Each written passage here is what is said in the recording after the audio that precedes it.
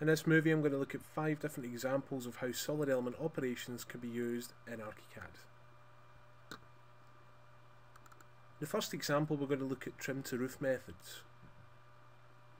In this instance what we have here is some walls that need to be trimmed back to four bits of overlapping roof. select the walls and use the regular trim to roof command. This works pretty well but the downside is if I then select one of the roof elements and decide to change its angle you see the piece of wall, or the walls, are left behind. They don't extend and they don't trim backwards. So in the second example what I'll do is exactly the same type of operation but this time using solid element operations. I've selected walls and the next thing I need to do is activate the solid element operations palette from the design menu. In the case, this case the walls are the target elements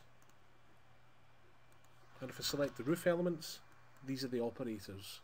I then have five different options, subtraction, with and without upwards and downwards extrusion, intersection and addition. In this case I want to do an upwards extrusion. So I'll use this and it will tell the attributes to stay as they are, hit execute and you'll see the walls trim. If I close the palette, select one of the roof elements and this time change the pitch, you'll see that the walls automatically retrim to the new height. They will also extend, but they will only extend to the maximum limit of the height of the wall. Another example of this is to trim these three sets of walls to what's a relatively complex shape for ArchiCAD because the walls are then trimmed to multiple pieces of roof. So we'll do in this first example is select all the walls, these are my target elements. I'll then select the upper piece of roof, these are the operators, and I'll do what's called a subtraction with upwards extrusion. So execute that, that trims back the walls. I'll then repeat the command, select the walls again, again these are the targets.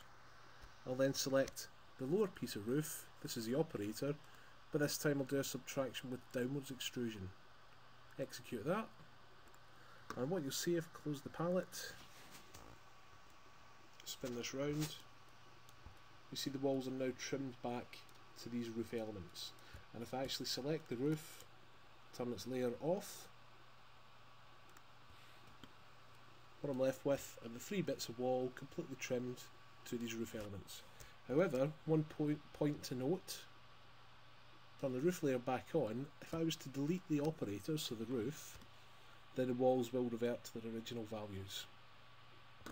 In this next example, I have a simple U-shaped stair, but underneath the stair in the 3D window I have bits of walls that I want to extend up to act as supports. The way to effectively trim these walls is through solid element operations.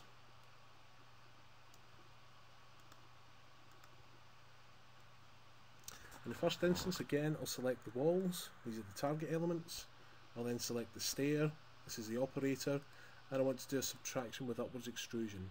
This time what I'll do is tell the walls to inherit the attributes of the operator. Effectively what this means is once the trim's completed, if I select the stair and hide the layer, what you'll see is the top of the walls are now painted with the materials of the stair. This next example allows me to create some complex geometry and what you'll see here is similar to the last example I'm going to use some objects to cut some holes within the wall. However you see the objects are set for wireframe display. This is because if I select one of them it's on the layer called operators and the operators layer has its display properties set for wireframe only. If I turn this off, put it back to normal 3D, what you'll see is the objects reappear back to wireframe okay. And what I'm going to do now is repeat the previous exercises. The wall is a target if I select all of the objects these are the operators and I'm going to do a subtraction.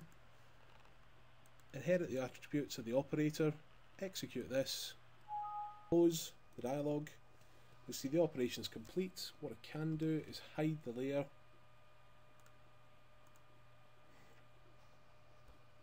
and you'll see that we're left with these holes chopped into the wall element. One final thing I can do here, again if I turn the layer back on, is if I actually start to take some of these elements and change the properties, so the material rather than being plain white, if I make it yellow, you'll see now a yellow piece of wall appears and likewise if I select this object here, change its materials so that it's now blue and if I select this one I just simply hide the layer again you'll see that I'm left with these shapes cut out of the wall with the various different materials. For the final example I'm going to switch to a different version of ArchiCAD and in here I have a building that's already been completed. This building if I take a look at the 3D window has a 3D isometric view set up from which we can save 3D documents. These are scalable, documentable um, 3D documents where I can add dimensions and text and annotations. In this one I've used a curve shape marquee to chop a shape through the building, but if I want more interesting geometry, what I can do is go back to 3D. If I turn on the layer called operators, there's a shape that I've already placed, which is this large um, elliptical shape. And if I zoom out slightly so I can select this shape, I'll activate solid element operations.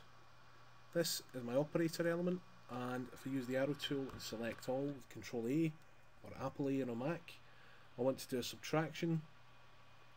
These are the target elements, 44 of them. I want to do a subtraction. Hit the execute. ArchiCAD will process, close this dialog, and then hide the layer called operators by selecting layers and hide. I can now create a fresh 3D document. Now you see I'm left with a shape that just simply would not be possible to create using the regular marquee or other selection methods.